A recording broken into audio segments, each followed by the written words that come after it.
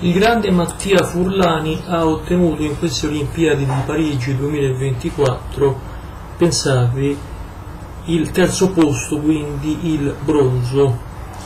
È stato veramente in gamba, meraviglioso, straordinario, bronzo olimpico, Olimpiadi di Parigi nel salto in lungo. Il ragazzo di 19 anni di età tuttavia è stato accolto in maniera festosa all'aeroporto di Fiumicino dove tanti tifosi lo aspettavano e lo hanno accolto a braccia aperte con grandi applausi lunghi, forti, elevati e tanti passeggeri sono uniti, un gruppo di atleti anche ovviamente non sono passati inosservati e lo hanno accolto come un eroe vero e proprio.